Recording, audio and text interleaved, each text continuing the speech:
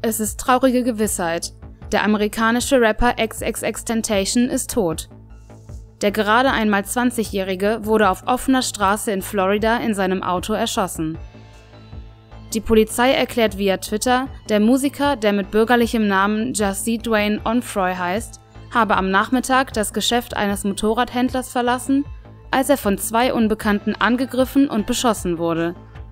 Der Rapper wurde in ein nahegelegenes Krankenhaus gebracht und dort für tot erklärt. Möglicherweise handelte es sich um einen Raubüberfall. Die Rap-Szene trauert. Weltstars wie Kanye West und J. Cole brachten bereits ihre Trauer via Twitter zum Ausdruck. Ruhe in Frieden. Ich habe dir nie gesagt, wie sehr du mich inspiriert hast, als du hier warst. Danke, dass es dich gab, schreibt West. J. Cole gedenkt XXXTentacion. Das macht mich fertig. Ruhe in Frieden, Ex. Enormes Talent und grenzenloses Potenzial und ein starkes Verlangen, ein besserer Mensch zu sein.